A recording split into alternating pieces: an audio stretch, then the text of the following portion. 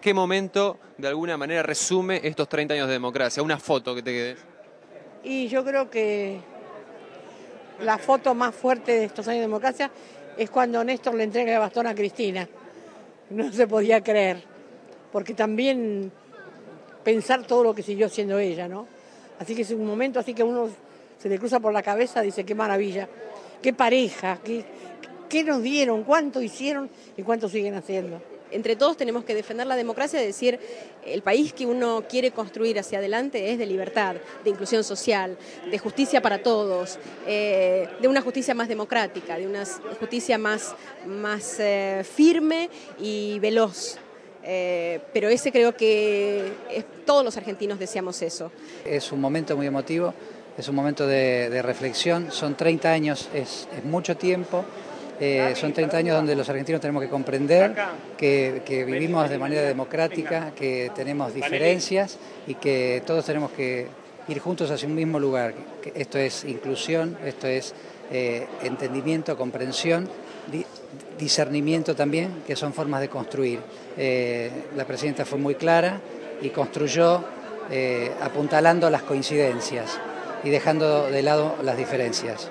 Soy de esa generación que, puso tanto sacrificio. Soy de la misma generación que la presidenta, soy de la misma generación que Néstor Kirchner. Así que bueno, estaba por supuesto con todas las esperanzas que significaba salir de la oscuridad de la noche larga de la dictadura. Y bueno, después de estos 30 años uno comprende que el camino nunca es fácil, que ha sido un camino difícil. La democracia no nos fue regalada, la democracia la conseguimos y la democracia nos costó. Creo que la mayor amenaza hoy para la democracia es la desmemoria. La mayor amenaza es que nos hayamos acostumbrado a lo que en definitiva hoy sentimos lógicamente y es válido como algo indestructible, pero hay que tener en cuenta que la democracia no es de goma, que la democracia puede ser lastimada, que la democracia puede ser lastimada y que no hay otra alternativa, que no hay un camino alternativo.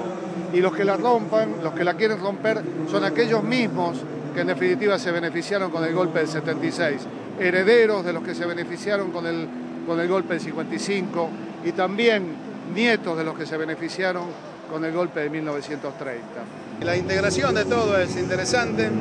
Y bueno, los 30 años ya lo han dicho todo, el hecho de vivir en democracia ¿quién no quiere vivir en democracia? ¿Quién no quiere vivir tranquilo? Así que ojalá sean muchos años más y, bueno, y que, que los derechos de todos vuelvan. Esta democracia y su profundización nos fue como abriendo los ojos, despertando a un nuevo nivel de conciencia cada vez más profundo que nos permitió soñar en primera persona y salir a buscar y a conquistar la igualdad y, los derechos que faltan. Que sin duda, como dijo la presidenta, todo lo que falta vamos a conquistarlo en democracia.